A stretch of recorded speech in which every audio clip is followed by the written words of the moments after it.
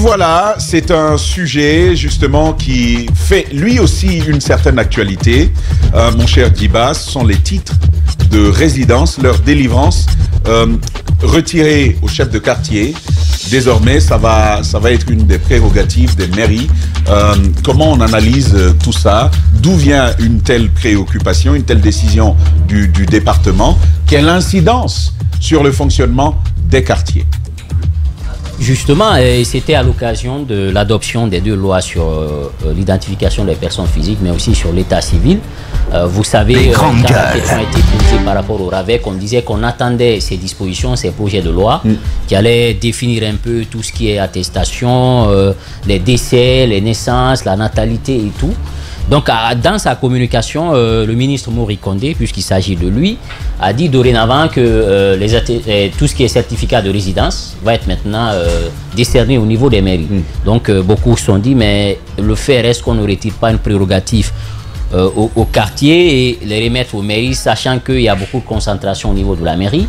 Sauf que moi, je, je, je- j'applaudis des deux mains cette décision, euh, pour une raison toute simple. Je trouve que c'est une bonne nouvelle. Moi, je pense que Une c'est bonne décision. Une très bonne décision. Moi, je pense que c'est une très bonne décision. D'accord.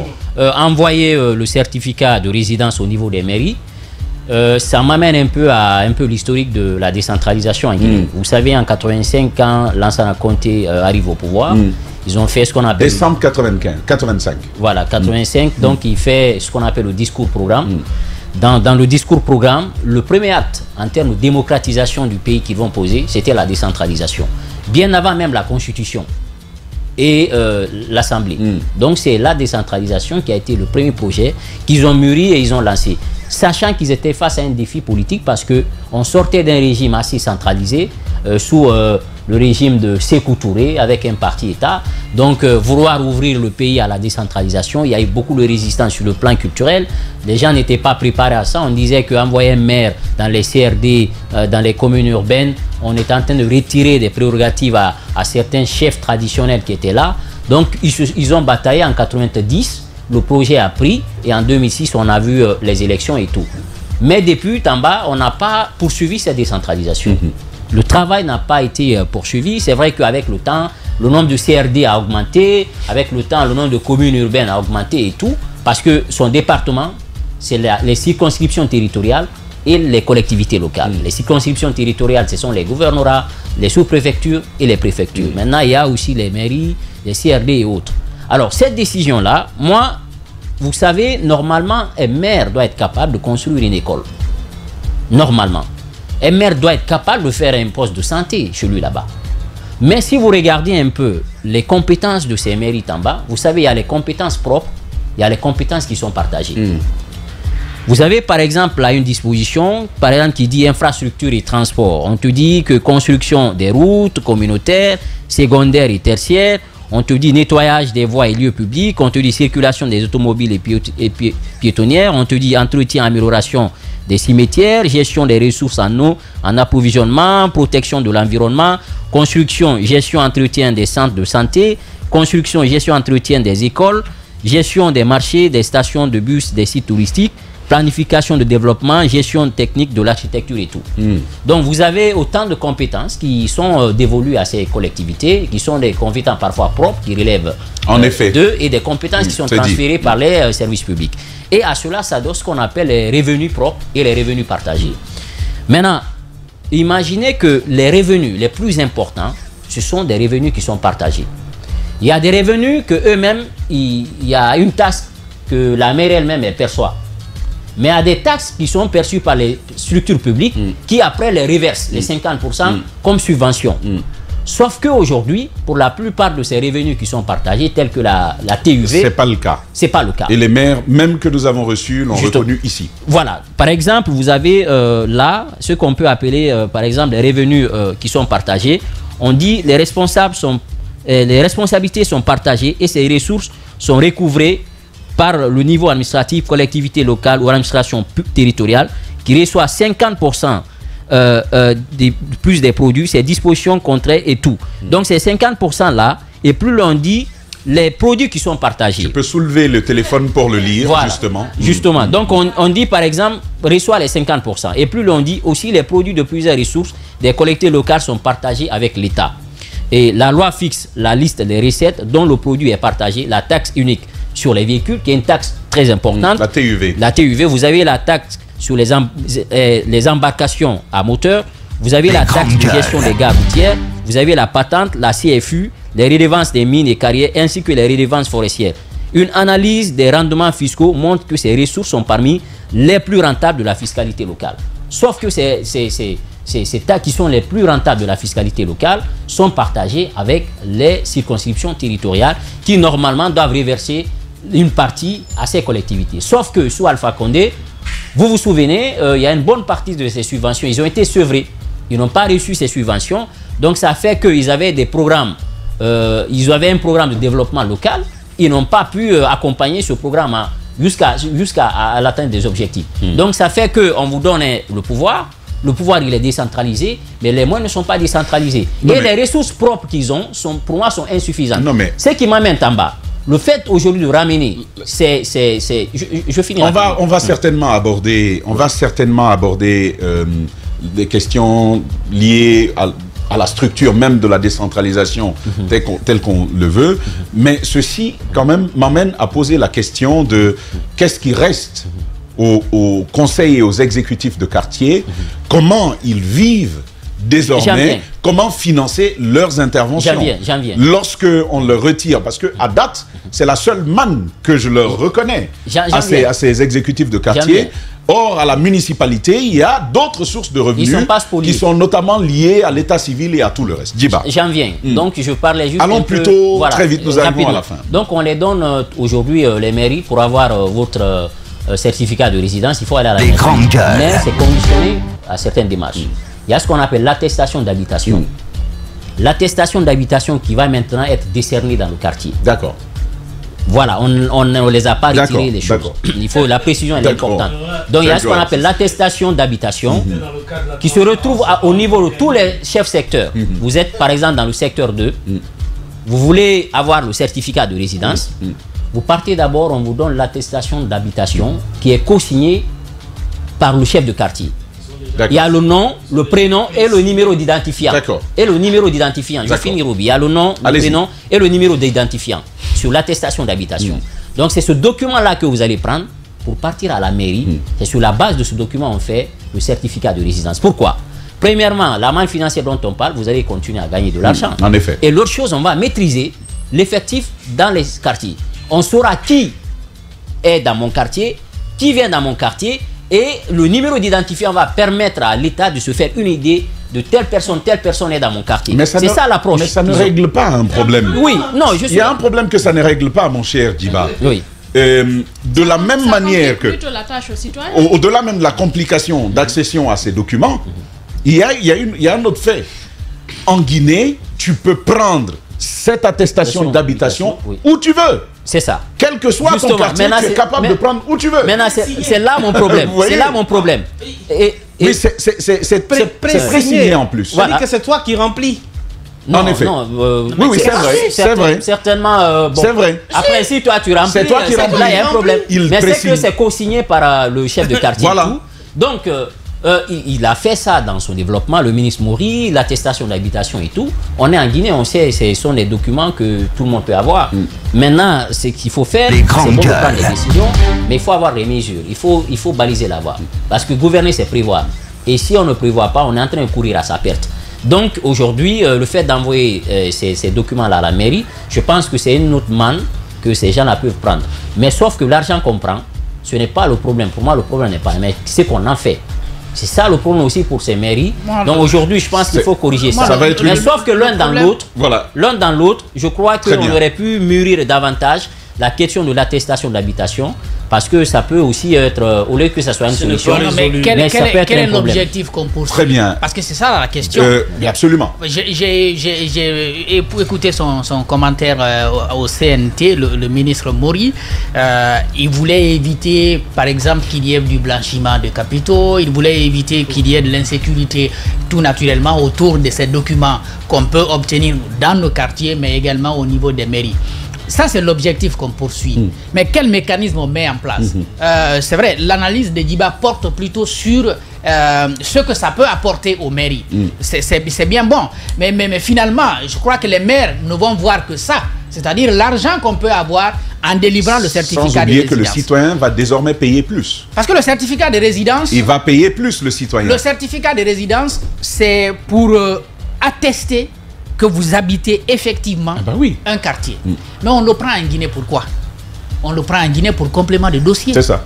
Personne ne le prend pour justifier quoi que ce soit. On le prend juste lorsqu'on veut postuler quelque part ou bien lorsqu'on veut compléter un dossier, on va chercher un certificat de résidence. Ce problème-là, il n'est pas seulement au niveau euh, des, des, des- des quartiers ou au niveau des mairies. Et ce n'est pas seulement avec les certificats de résidence. Voyez par exemple avec les casiers judiciaires. Le casier judiciaire, on vous le délivre pourquoi? C'est pour attester que vous n'avez pas été condamné. En effet. Est-ce qu'il y a une enquête dans les tribunaux? Toujours rien. Il n'y a rien. C'est comme le certificat de visite et de Et de contre-visite. Oui. Ce sont des documents que vous pouvez avoir dès que vous vous présentez Et que vous payez. et que vous payez de l'argent. On ne va pas vous, on ne va pas se mettre à fouiller dans ton, dans votre historique pour voir si vous avez été condamné Ouais. pour vol de poulet quelque part, euh, pour quand même dire que vous n'êtes pas préparé à, à une telle fonction parce que vous n'avez pas une moralité bien claire. Je crois que c'est bien de faire des textes. Mais il va falloir derrière déterminer le mécanisme. Ça aussi, il faut l'écrire. Et- et- et là, je- pour, je- dire comment il faut une attestation d'habitation, Mm. une attestation d'habitation, est-ce qu'il n'aurait pas été préférable d'associer le ministère de, de l'urbanisme et de l'habitat? Parce qu'on parle d'habitation. Puis pour, que, pour, pour avoir un peu plus de crédibilité sur ce titre, Mm. quand tu dis j'habite tel quartier, il faudrait par exemple que l'on sache. Et effectivement, c'est la question que je veux soulever. Il n'y a pas de base de données de l'habitat. Sur l'habitat. Zachary Et- effectivement. habite tel quartier, Mais ou il y a- que mais- Diba habite tel autre quartier. mais il y a un préalable. Pour arriver à ce qu'ils sont en Il y a train de faire, il y a- il y a des préalables, comme tu le dis, Exactement. Roby. Il faut qu'en fait, il ne faut pas renverser Le la RGPH aurait Il dû commencer. Commencer par le RGPH. Commencez d'abord Le par RGPH, les adressages. avoir une base de données solide qui puisse nous Et les adressages. réellement, quand, quand tel citoyen vous dépose un document, si vous voulez vérifier qu'il habite effectivement tel quartier, il suffit de taper dans la base de données pour s'en rendre compte. Mais ce qu'on a fait là, c'est compliquer plus la tâche aux citoyens parce qu'ils vont devoir payer deux fois. Et vous savez ce qui se passe le plus souvent. Sans, sans parler Évidemment. du Sans temps. parler du temps, de Et la perte de temps transport. qu'il va se faire. Il faut, il, faut, il faut venir au quartier. En fait, ce que vous faisiez avant en une, maintenant vous le faites deux fois avec plus, beaucoup plus de moyens, beaucoup plus de temps. Je pense qu'il faut réfléchir parfois quoi, avant de mettre en place certaines, euh, de prendre certaines décisions ou certains textes. Il faut, comme, il faut faire une étude de faisabilité. C'est quoi la réalité du terrain? Qu'est-ce qu'il faut faire en amont avant de prendre ce texte-là? Je pense que ça, ça a manqué et généralement, c'est le citoyen qui paye le, le- le prix fort. Parce qu'il il parlait de, de numéro euh, d'identification. Il semble que euh, chacun aura son, son numéro. Hein. Tamba, tu auras ton numéro. Euh, Roby aussi en aura. Ça, ça sera désormais dans, dans le fichier. Ça, c'est avec l'état civil. c'est- c'est- c'est avec Ça, c'est avec l'état civil. Mais Quand le recensement- ça, euh, Des grandes gueules. La mesure mais- qui est prise, elle entre en vigueur. Non, mais Non, ce n'est pas encore euh, Elle promulgué. Elle attendra, c'est mais- pas encore promulgué. C'est adopté, mais ce n'est pas encore promulgué. Ce n'est ça ce n'est pas encore opposable. Ça attendra. c'est vraiment du gros n'importe quoi. C'est du méli-mélo. Ah bah que je- non. Non, non, il y a une bonne intention. Non, il y a une très bonne intention. Il y a une très bonne Excusez-moi. intention. Pas jeter le bébé avec le bébé. Excusez-moi. Si les préalables sont là, si de on a la base de données, ça va, ça ira. n'ai- je n'ai pas fini Mais dans le cas échéant, Je n'ai pas fini de parler, euh, vous sautez sur moi, hein, je sais. Comme d'habitude, Je hein. suis tout le temps à votre table, vous êtes prêts avec les fourchettes et les couteaux. Mais je dis c'est du gros n'importe quoi. Quand Jacques parle, il y aura des numéros d'identification. Mais mon Dieu, il n'y a qu'en Guinée où tu vois un citoyen qui va finalement avoir plusieurs numéros d'identification.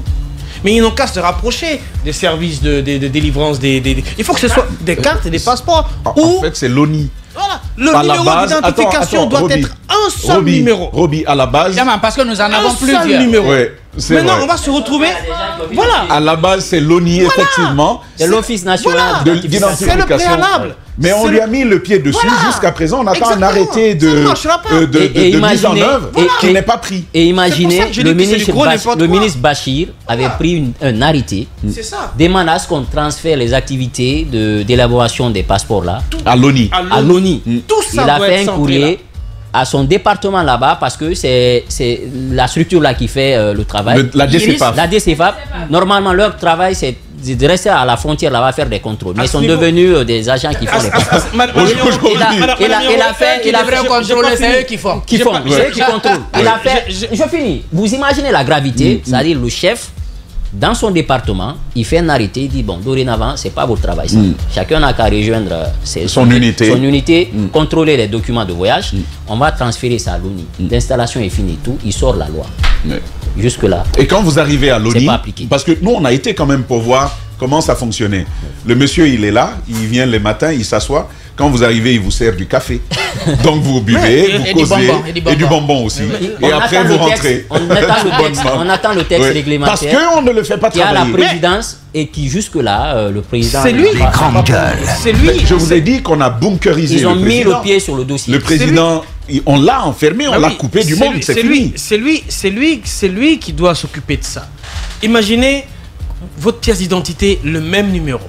Votre passeport, le même numéro. Lorsque vous venez acheter une maison, sur les attestations de délivrance, etc., le même numéro. Mm. Vos Vous assurances. achetez une voiture, le même Le numéro. même numéro. Mm. Assurance, le même numéro. À l'hôpital, le même numéro. Ouais. C'est pas compliqué. Du coup, un citoyen est facilement identifiable En effet. par rapport à sa zone d'habitation. Et donc, vous n'avez pas besoin de délivrer de certificat d'habitation. Ça, c'est pour les contenter. Vous allez aller trouver, s'il faut avoir un certificat de résidence à la mairie et qu'en amont, il faut aller chez le chef de quartier pour récupérer le certificat d'habitation, vous pensez que ça résout les problèmes? Là où on a trouvé des certificats de résidence pré-signés, Ouais. qu'est-ce qui vous garantit que le Mais certificat tout sera pré-signé. hein. L'habitation Donc n'est pas- la est solution, c'est c'est prendre plusieurs. je peux habiter- Chaque année, tu Oui. prends 10, tu déposes Oui, à la maison. Je peux habiter. Et après, quand Ce tu es fait- prêt, tu remplis. Oui, mais ce qui fait que. Oui, c'est fait- 10 000, 10 000, c'est Ce- 100 000. ce- Tu Mauvais conseil. Non, non, je vous dis. Mais je vous parle. Tamba, ça ce qui, non, mais Madame Hiro, il faut Non, tout dire. je le dis pour sur ce qui est Ce faisable. qui fait que. Oui, ce- mais ma- donne ma- d'autres ce- solutions. Non, mais mais j'ai pas ce- dit- mais la solution, c'est ce- ça. Ce qui fait que. Ce qui fait que dans la plupart des, des, des Des grandes gueules. dans les banques, vous avez des citoyens qui ont de, de nombreuses fausses informations en termes de fourniture de documents. Parce que vous allez là-bas pour ouvrir un compte. On vous dit par exemple, oui, il faut envoyer un certificat de résidence, il faut envoyer la photocopie de votre pièce d'identité ou du passeport Hmm. et une facture d'électricité. Tu peux même trouver là-bas, ton voisin là. Ouais, ouais. Là-bas là. Prête ça là-bas, tu viens avec. Tu viens. Toi, tu habites Ratoma, moi j'habite Matoto. Madame Hiro, euh, demain en venant, envoie-moi ta, ta, ta facture Et puis, d'électricité. et puis Oui, attends, attends, attends. Et, et tu sais ce qui se passe? Quand tu arrives, tu demandes le certificat de résidence. Le maire, il a sa fille qui s'appelle Mafoudia. C'est elle qui gère. Donc, et, et le maire dit Siga, euh, Siga. pas Mafoudia travailler. Non, c'est mon ami. Je l'aime bien. Donc, il dit à, il dit à sa fille Eh, Mafoudia, Siga Siga Bangi, Bangi, ira, et ah, comment on Kedi. Tongo. Il part, hein. Donc, et la fille demande Mais Baba, et combien? Combien de. Kedi tu vois, et dit, il dit Sarah, 10. euh, Toi, tu, prends l'argent, tu donnes et puis on t'amène. Et tout est présigné. Tout est présigné. Donc, est et c'est écrit à la main et, et habitant de mon quartier Oui, depuis. alors toi-même tu mets ce pas. que tu veux. Alors que j'y habite Voilà. pas. Donc pour moi, c'est fausser complètement la donne. Mm. Il y a des préalables qu'il faut respecter. C'est renverser la pyramide. Ça ne marchera pas. Ça n'arrêtera pas la, la diffusion des faux documents. Et qui- Ben, euh, ben, voilà. voilà. Très bien, très Je bien. vais rajouter juste rapidement une chose. ouais. Euh. Je crois qu'il y a d'autres questions plus importantes. C'est important quand même, hein, euh, le fait d'y aller. Mais au- aujourd'hui, il y a un défi politique par rapport euh, à la décentralisation de Tamba. Vous savez, par exemple, Dakar, ça a grandi avec En le fait, temps. moi, c'est là que je, ce que je voulais dire, euh, euh, euh, Diba. Je pense qu'on attend aussi, euh, ça c'est bien par ailleurs, C'est bien, euh, ouais. cette démarche, Oui. mais euh, j'attends aussi quand même le, le ministre sur de vraies questions Voilà, de, de de- réforme. de- de décentralisation. De décentralisation. Bon, au-delà, parce que là, on est encore sur, Voilà. sur euh, si vous voulez, on est en périphérie, Périphérie, des, voilà. des vraies préoccupations. Justement. Euh, la vraie décentralisation attend des textes sur l'indépendance des, des mairies, des mairies. que la libre administration des collectivités soit, soit actée et qu'à l'appui de ces principes, il y ait des mesures fortes, notamment parce que une question centrale aujourd'hui, c'est quand même le financement des compétences qui ça. sont euh, attribués aux collectivités. Ça. ça, ça reste sérieusement un problème. Pendant ce temps, il y a des cris sur, sur l'ANAFIC, il y a des cris sur un ensemble de mécanismes de, de, de financement. On parle de ces PDL, les plans de développement locaux, Oui. et des PAI qui en sont assortis. Là également, il y a une véritable préoccupation sur le ça. renforcement Oui. des capacités Capacité. des collectivités, la maîtrise d'ouvrage avec des maires qui n'ont pas souvent la ressource locale, Locale. nécessaire pour le faire. Il y a un grand pas vers cela, c'est la fonction publique territoriale. Mais euh, là également, la problématique reste entière. On va au recrutement là. Oui. Comment est-ce que l'action va être portée ça. Autant de questions qui Justement. attendent le, le, Je- le- le ministre Maurice Voilà, Condé, a- pour a- a- on n'a pas encore de Voilà, il y a une question, des questions structurelles, vous, vous l'avez rappelé avec brio. Euh, Aujourd'hui, il y a un défi politique, mais aussi économique. Défi économique, c'est la politique de mobilisation des ressources euh, qui sont très faibles. Donc, je pense qu'aujourd'hui, il y a une nécessité d'aller vers une formation d'abord de ces, de ces élus locaux en termes de fiscalité locale, en termes de planification. Une, une belle idée qu'il a eue. Voilà. C'est avec les centres régionaux de, de formation. de des- formation, euh, tout à fait. Des élus locaux. Voilà, en termes de planification, mais aussi des voyages d'expérience avec euh, les pays de la sous-région Mm. où la décentralisation fait des merveilles. Ici au Sénégal, ils sont aujourd'hui à environ 19 euh, communes et ils ont une gueules. Je pense pourquoi on ne devrait pas poser aujourd'hui la question, le débat sur la mairie centrale à Conakry. Conakry, il y a encore 15 ans en arrière et Conakry en 2023, ce n'est plus la même démographie.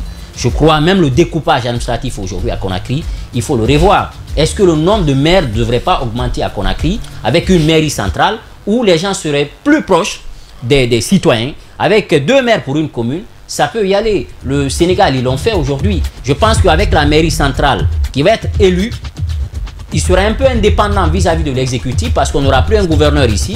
Parce que le gouverneur, toujours avec un décret, Mm. Très bien. c'est la déconcentration. Il y a bien. toujours ce sentiment de bien. redevabilité avec le président. Effectivement, un sujet qu'on pourra continuer euh, à suivre pendant que Aïssa Toussané arrive et qu'elle et euh, s'installe euh, pour aborder cette autre. c'est la dernière rubrique. On, Oui, mais- on va, on va l'aborder juste derrière ceci. À Espace, chez les GG, nous travaillons à la vérité des faits par l'enquête et par une information équilibrée. Des faits qui peuvent déranger, des faits qui peuvent bousculer.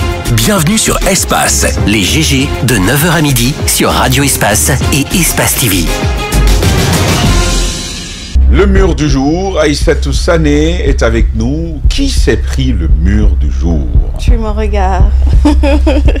Alors, ça s'est joué également entre trois personnes. Daouda a pris un mur, Tamba en a pris deux, et puis notre mur du jour en a pris quatre. Et c'est Ruby. Daouda n'était pas là. Mais si, Daouda était là.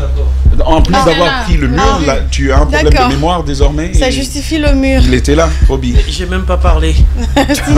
Et voilà. Je dis encore une fois, je, encore, encore exactement, encore une fois, je répète, encore une fois, je répète que quand CG était là, j'avais pas de mur, mais que Sané est de retour, Mais comment la ça se fait, complicité cette euh, entre les deux, Bah tout le non, temps un entre les ça deux, c'est-à-dire voir. Madame, Madame Sané la est en bas. Présidente, comment ça se fait cette élection On met, on met un Bah, mur c'est incroyable. C'est le vote à la fédération, Madame Yoro, c'est un exemple.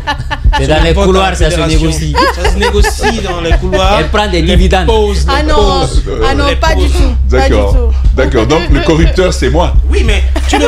Madame mais à chaque fois. Tu lui as toujours souhaité le mur. Voilà. Le Mais souhaiter Quelle et coïncidence. corrompre. Ah, euh, maintenant, ton Quelle coïncidence. réalisé là. Très Quelle bien. coïncidence, non Voilà, on, Quelle on- coïncidence, non On arrive euh, à la fin de hein. cette euh, émission. Un mur mérité, un mur mérité de Roby C'est ça. ce, ce Bon, ma- matin. ma- malgré le mur. Continuez de rester en compagnie de nos programmes, puisqu'on vous l'a dit, Oui, hein, Roby, qu'est-ce qu'on dit chez mal- nous hein Malgré le mur mérité, de toutes les façons, le meilleur, ça ne peut qu'être où? C'est bien chez nous, espace.